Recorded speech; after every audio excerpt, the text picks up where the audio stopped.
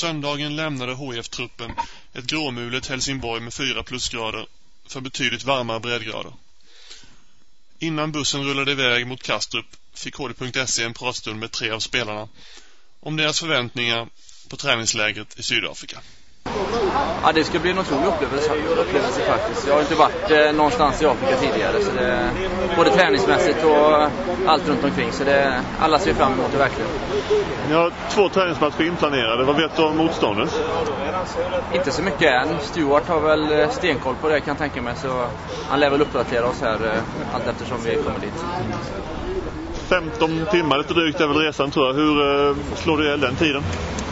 Ja du, man försöker somna. Det är väl inte det lättaste kanske men eh, det är bra att man inte åker i tidszonen i alla fall. Så det är samma tid då när man väl kommer fram då i stort sett. Det är väl en timme tror jag bara. Och exakt hur skönt är det att slippa det här vädret i två veckor? Ja, det behöver jag nästan inte svara på tror jag. Vad har du för förväntningar inför resan?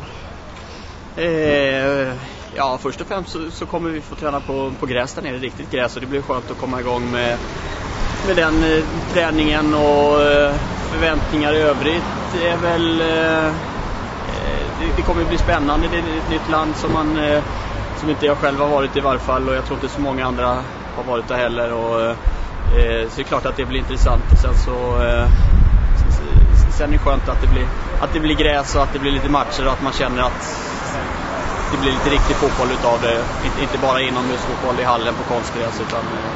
Ni har två matcher inplanerade. Hur, vad vet du om motståndet? Eh, det vet jag faktiskt ingenting. Eh, inte minst, jag har ingen koll på sydafrikanska ligan eller de inhemska lagen. Så, eh, jag tror att Stuart vet lite grann om dem och han kommer ge den informationen som, vi, som, vi, som är nödvändig som vi behöver veta innan matchen.